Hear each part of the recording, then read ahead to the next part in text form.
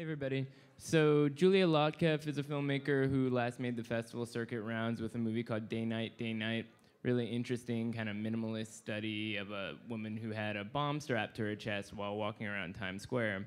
And her new movie, The Loneliest Planet, which is uh, just pre- premiering at Toronto uh, this week, uh, is sort of different territory. It's about a relationship and two people traveling through the Georgian mountains and you, you, you kind of watch them walk around and wonder what the subtext is and, and whether or not they're going to fight and all these different kinds of things. So on the surface, it's a very different kind of project, but actually it has certain uh, thematic similarities and other things that are consistent uh, with her work. So we're going to talk about that, and we're also uh, very happy to have the two actors who play the couple in the film. So please join me in welcoming Julia Loktev and the actors Gael Garcia Bernal and Hani Furstenberg.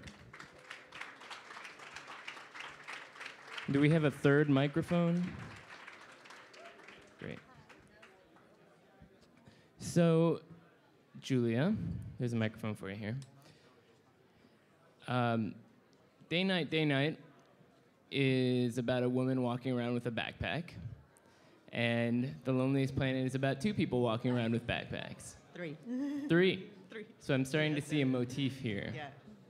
Uh, but but seriously, uh, the, the it's it's interesting because the last film was very much a sort of minimalist experiment about one person, and here it does seem like you're in different ground, working with a relationship story. So can you tell us a little bit about you know what the transition was like going from that last project to this one? Uh, Exactly. I think, yeah, Day Night, Day Night was about a girl's relationship with her own faith. So for me, it was very exciting to work with the actors about a film about people's relationship with each other, which was kind of a thrilling new thing for me, really. So, uh, Hani, you've done a lot of stuff in the Israeli theater and, and some Israeli cinema as well. You've worked with some big Israeli directors like Eytan Fox. Um, Like Joseph Cedar, who's here with Footnote. like Footnote. Joseph Cedar, who's here with Footnote. Nice plug.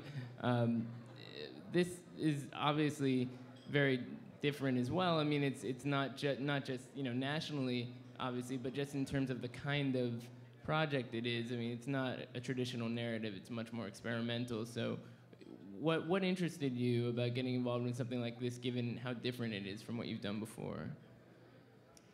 I think that what I mean, get, getting a script that's you know has hardly any text in it is just like telling me a story, um, and the story that it told, the subtleness of it, the subtlety of it, um, really drew me in, and the fact that it was going to be filmed in such an amazing place, and that we were going to be, you know, going through this journey for these two months together. The whole thing just really it was an experience that I would never have passed up.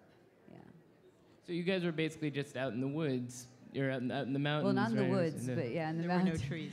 in the mountains. with, with a tiny Yeah. crew and, and Sometimes uh, sleeping in tents and you know waking up at three o'clock, four o'clock in the morning, hiking for two hours to get to a place where we're going to start our hike that's going to be filmed.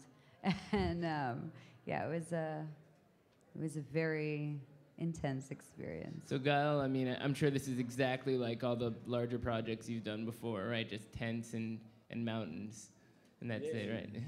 Tents and uh, well, I, I'm not used to large projects uh, as well. I mean, I, I they're not uh, so big where I come from, and and some of the films um, are pretty small in scale. But this one in particular, uh, thanks to the the design of, of the adventure that uh, that uh, that Julia wanted us to to experience and to portray, uh, it was necessary that it was a very intimate. Um, very few people working on the movie, even though we were a lot, uh, I must say, but everyone into the same kind of uh, trekking. You know, we were like doing.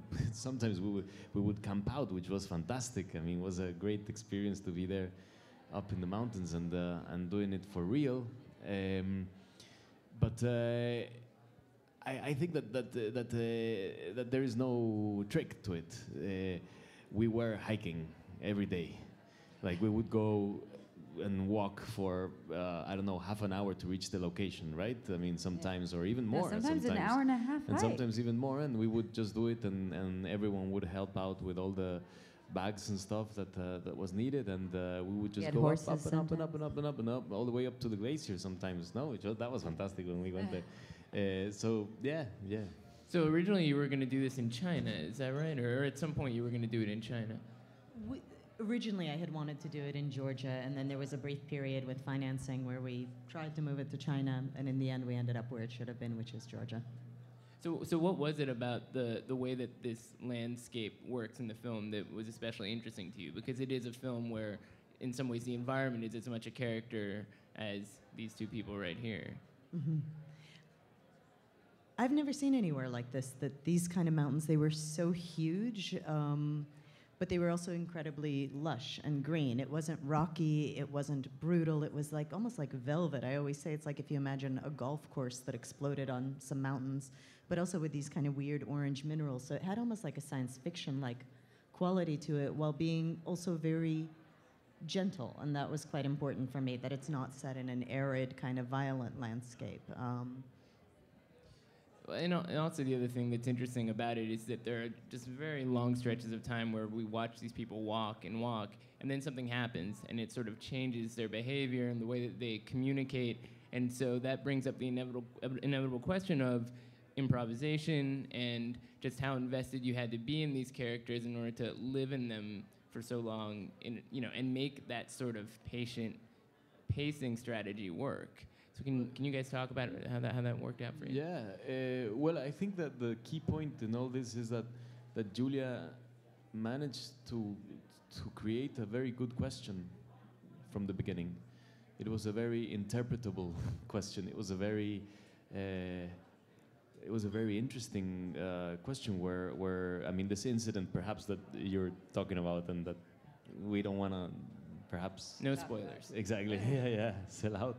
Uh, uh, inverts everything, and they have to build a new language to relate to each other. They have to, to. Um, I mean, uh, an event like that uh, shuffles priorities and shuffles a way of, of um, almost a grammatic kind of understanding between each other. So not only. Um, not only they have to, to find a new language uh, physically, they have to find another language almost with this kind of metaphysical connection that they might have or that they thought they had or that they really have but it's becoming a new thing and uh, and so I think that that uh, that uh, this question was was so let's say strong and so uh, propositive that uh, we all felt that we could portray it, uh, that we could do it. But obviously, then it, then then we reached the location and is how do we do this, no? and it was like a, normal kind of uh, uh, thing of uh, what happens in a film. But but we had a question. We had a good question, I think, and and and that is um, that is completely credit of Julia. I mean, we had a really good thing to hold on to and to grab on to. Well, the other thing is that this is a movie that I think makes a considerable effort to, to root itself in the real world.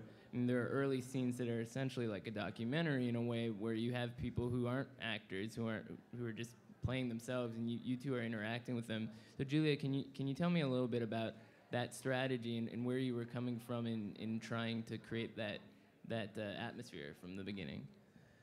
For me, I'm always really interested in the way that, you know, the lines where fiction and documentary bleed into each other. I mean, obviously, I think there's elements of fiction in every documentary, and whenever you shoot a person, you're shooting a real person with real kind of with a real face who's breathing in a real location. So there's inevitably some element of documentary that enters into things. And in this case, I wanted to take this very precisely kind of um, defined narrative story, but to bring it into this real world where suddenly the real world could enter and there were unpredictable elements to that. So, for instance, you know, we were staying in a village and um, the earlier scenes were filmed by, you know, having Hani and Gael as the couple enter into these situations that they would enter into as travelers. And maybe you guys can talk a little more about that. Well, Kind of well, I mean, Working with what what was that kind of- like? You know, I mean, it, Just work. I mean, when when you're s- when you're in a real environment and being told Yeah. to act Well, it's It's it wasn't. re- We weren't being told to act. We were being told not to act. Um, we were. I mean, we were just living in the circumstances and enjoying the playfulness of it, and um, that's acting as well. yeah, I mean, and, this uh, ambiguity yeah, true. And um, It's creating Yeah, a I mean- situation and seeing what happens in it and behaving truthfully. it in was, yeah, it was very um, authentic. I'm in sure. a I'm sure that uh, the the Bidzina who plays Dato. I mean, he would argue strongly against like, no, I didn't play myself. Yeah, you know, even though he's very used to to I be should in the mountains explain. and everything. This he- is the, the third character in the film. is is the guide that the two of you recruit, Yeah. and he was actually a guide, or he had worked as a guide in the area, right? No, he's a prof- he's the top mountaineer in Georgia. He actually, Yeah, in the film, around- he plays a trekking guide, um, which um, I mean, Bidzina himself is like climbed Everest twice, climbed a few 8,000 meter peaks, and is a professional mountaineer. So they call what we did in the film kind of going on the green stuff, basically going for a stroll. Um, but yes, as Gael pointed out, like he would definitely say, no, no, no, I am not playing myself. I mean, for example, people have asked me, there's a story that he tells at the end and um, people have asked me, well, that's his story. Of course, that's his own story. And I'm like, no, no, no. He's happily married with four children. Um, that's not his story. Well, but what, what's uh, unique about the introduction of that character and the way that you guys interact with him is that it is sort of a movie about cultural boundaries on some level.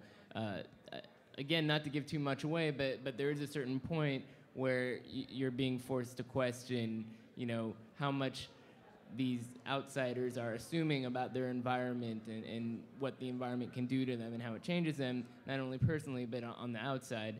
So, uh, you know, how do you feel about that sort of thing? Because Day Night, Day Night was also to some degree about cultural assumptions. You know, having a woman with a bomb strapped to her chest but not knowing her nationality and, and seeing how that plays off of viewer's assumption. Whereas here we have a specific nationality but few details and a lot also left up to the imagination. Well, I think for me, it was important in this film not to kind of fall into the tropes of travel films, which are quite condescending to travelers usually. I wanted to depict the kind of travelers that I'd met backpacking in different parts of the world who are actually attempting, at least, you know, they are very honestly attempting to be as open as possible, to be as respectful as possible, to learn a little bit, not to just kind of go and have fun in a place. But of course, other things enter into that. Right. Uh, I mean, just uh, there is. Um, well, I had something to say, but I was completely. Falling- I was just watching the cafe, man.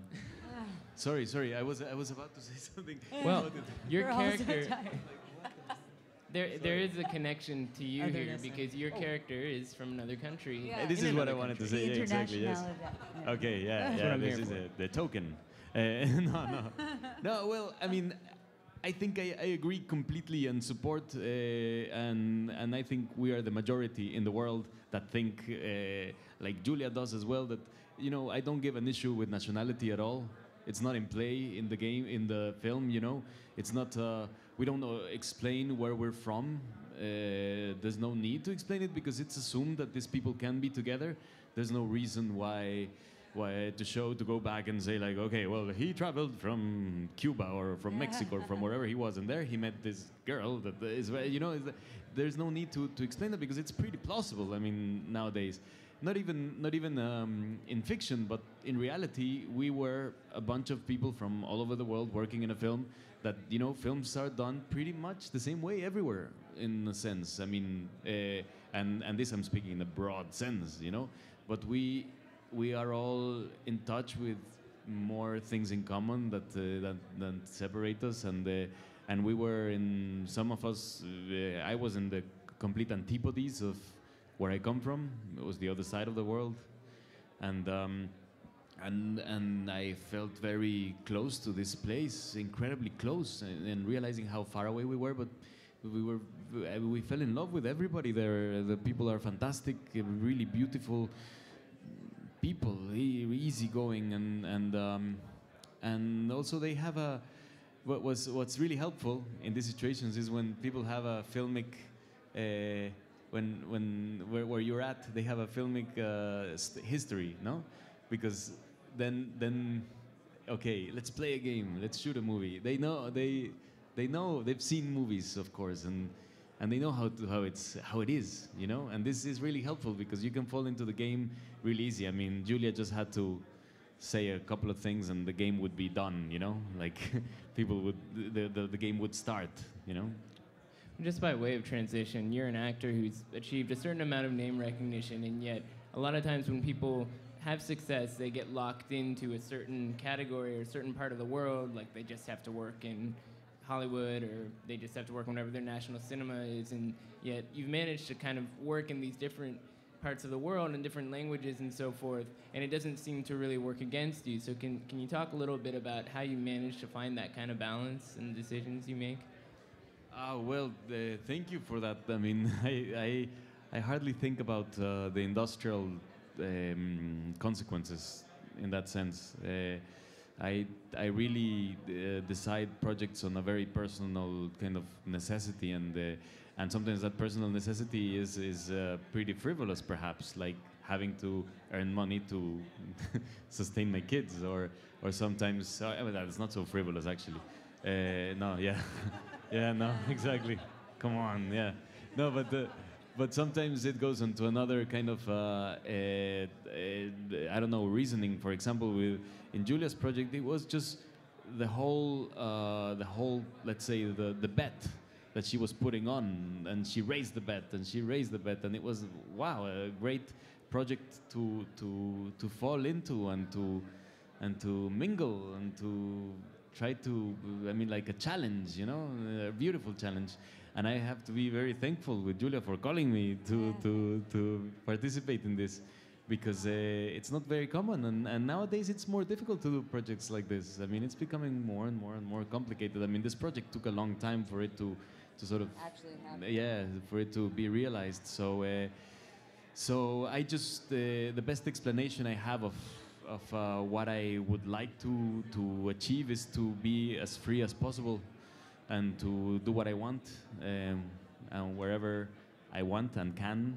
Uh, I wanna I wanna go there. So if anyone has a script from Sri Lanka right now, maybe, uh, may- it, immediately I would raise my my attention. So, yeah. And Hani, now that we've seen you in one American film, might there be more to come? Maybe. Is that something? I, would. I mean, I would also love. I mean, th- we're in this profession for the love of it, for the love of the art of it. I'm in the profession for the love of the art of it, and um, I've had the opportunity to work with amazing people in Israel mostly, and now with Julia here. And uh, if I was able to just keep working with amazing people around the world, that would be everything that I could ask for. Yeah. And we'll, we'll go to questions in a second. But Julia, I think you know it's not necessarily a put down to say these are difficult films to market, difficult films to, se- to sell, the kind of movies that you make. In fact, it might even be a compliment. Um, but it does take a while to get them made. It took you a while be- between Day Night, Day Night, and this one. So, uh, how do how do you feel about that kind of situation? You know, I mean, do, do you ever think maybe it's is, is it worth is it worth the wait? Is it worth it? Uh, do I have a choice? I don't know. I mean, you just do, you know. you just do the work. I mean, I mean, this. I mean, in, in so far as where where you're headed professionally, I mean, do, do you have a certain kind of interest in in what kind of films you want to continue to make, or is it just sort of project by project? it is project by project, but I think, you know, I've never. I kind of resigned myself to the fact that I probably will never make a film that everybody likes or that people feel kind of evenly about and kind of everyone likes it a little bit. But I kind of prefer to make work that either people, people really love it or some people should hate work. I really believe that. I think if nobody hates it, there's something really wrong with it. Right. Okay, so let's take some questions if we have any. Any questions for these guys? Well, I have some more questions. Uh, uh, first of all, uh, can you guys tell us what, what you're working on right now? I- I'm sure that there must be something What, what, what's your next project? I just left the theater in Israel after being there for four and a half years with um, at least 30 performances a month. And so I'm very happy to take a short break from that.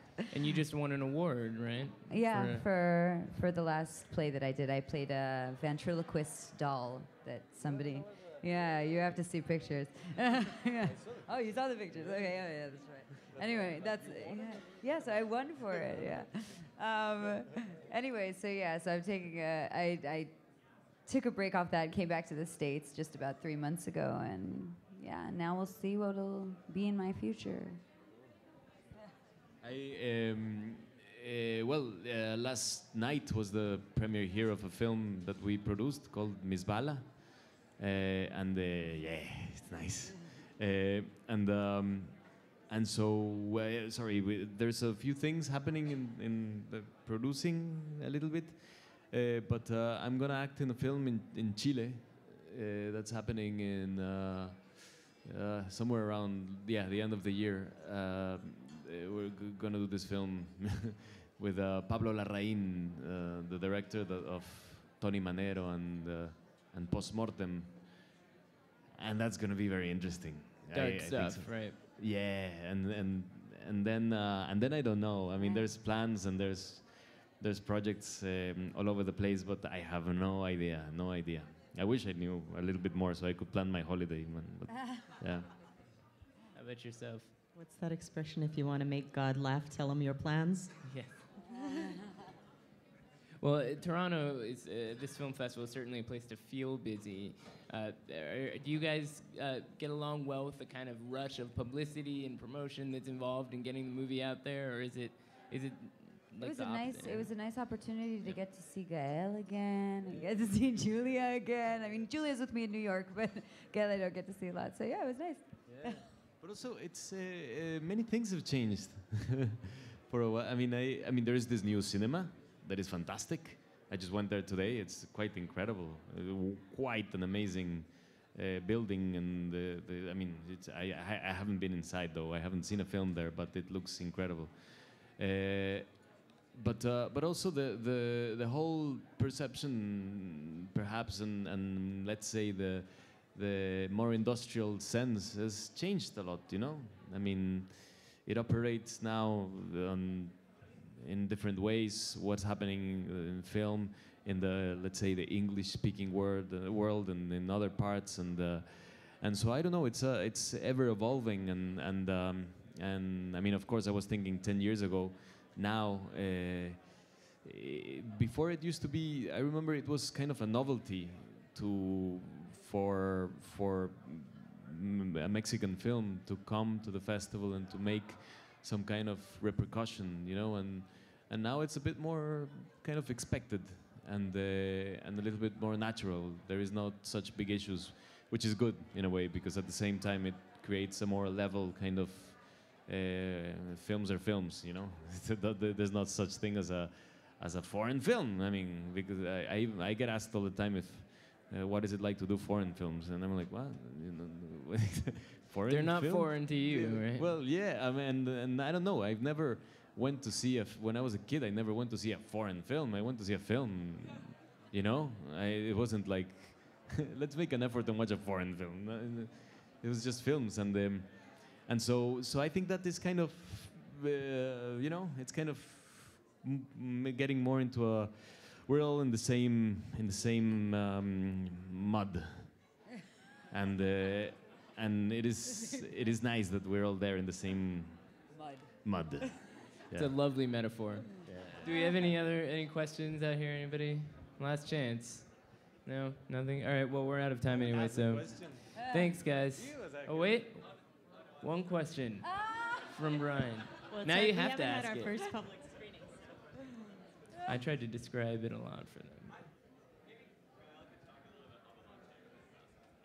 About Ambulante? Okay. Ah, okay, yes, okay, very briefly story of uh, Ambulante, okay. Definitions came to, no. no, okay, so there's this film festival that we have, that uh, this is one of the projects that we're uh, going around. There's this film festival that is a documentary, a traveling documentary film festival that goes around Mexico in 16 cities. and there's like around uh, 80 films that uh, are screened in commercial screens and also outside in in, um, in the plazas and in uh, cultural spaces and in uh, just wherever we can. And uh, it's the seventh year. Next year, it's growing exponentially, quite strongly. Uh, we actually the, the the film festival won an award in in Washington. They're giving it to us on the 13th. It's this uh, human rights award um, that uh, WOLA, the Washington Office of Latin America, gives uh, because uh, because it is one of the best festivals that exists. Uh, because it is taking the documentaries to for everyone to get a chance to see a documentary and not in a film festival or not in a in a cultural center or you know it, it, it- we try to spread the word around and the, and uh, whoever is interested in documentaries well now after 7 years of doing this festival there is a there is a big audience people know. Uh, people are very uh, well uh, yeah uh, very well how to say like versed into the documentary film language in Mexico. And uh, and you'll be surprised. And please I invite you all to Ambulante because it is a very it's one of the best experiences to be in Oaxaca in the middle of the night and watch these amazing documentaries screened in the cathedral there. And you're just like it's for free. And the and people go crazy and the, the mezcal does everything and it's just incredible. So please come please come and it's a it's a great thing. Thank you thank you for asking that. Thank you thank you. All right, so we'll see you in Oaxaca. yeah exactly. Thanks, guys. thank you